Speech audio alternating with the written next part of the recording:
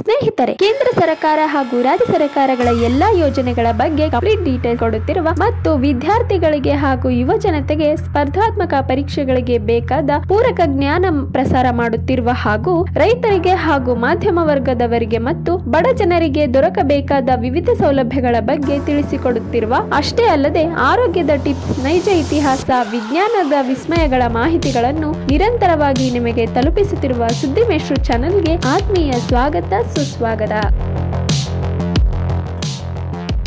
ರಾಜ್ಯ ಸರ್ಕಾರವು ಮಂಡಿಸಿರುವ ಎರಡ್ ಸಾವಿರದ ಇಪ್ಪತ್ಮೂರು, ಇಪ್ಪತ್ನಾಲ್ಕನೇ ಸಾಲಿನ ಬಜೆಟ್ನಲ್ಲಿ ಮನೆ ಕಟ್ಟುವವರಿಗೆ ಹಾಗೂ ಮನೆ ಹೊಂದಬೇಕೆಂದು ಆಸೆ ಇಟ್ಟುಕೊಂಡವರಿಗೆ ಬಂಪರ್ ಕೊಡುಗೆಯನ್ನು ಘೋಷಣೆ ಮಾಡಿದೆ.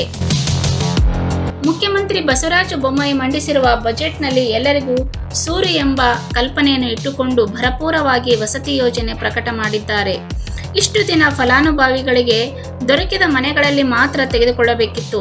ಬೇರೆ ಮನೆ ಬೇಕೆಂದರೆ ಆಯ್ಕೆ ಮಾಡಿಕೊಳ್ಳುವುದಕ್ಕೆ ಅವಕಾಶ ಇದ್ದಿರಲಿಲ್ಲ.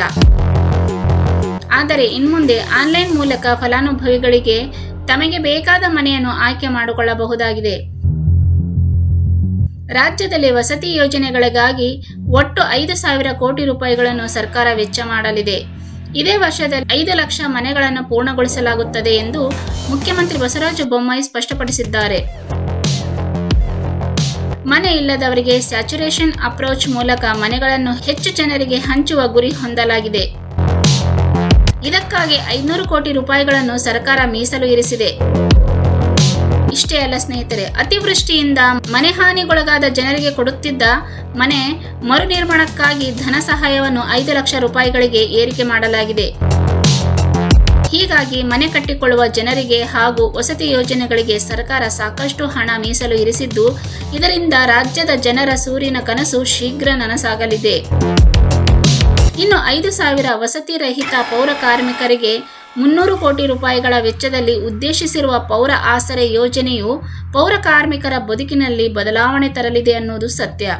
ಹೀಗಾಗಿ ಮನೆ ಕಟ್ಟಿಕೊಳ್ಳುವ ಜನರಿಗೆ ಹಾಗೂ ವಸತಿ ಯೋಜನೆಗಳಿಗೆ ಸರ್ಕಾರ ಸಾಕಷ್ಟು ಹಣ ಮೀಸಲು ಇರಿಸಿದ್ದು, ಇದರಿಂದ ರಾಜ್ಯದ ಜನರ ಸೂರಿನ ಕನಸು ಶೀಘ್ರ ನನಸಾಗಲಿದೆ.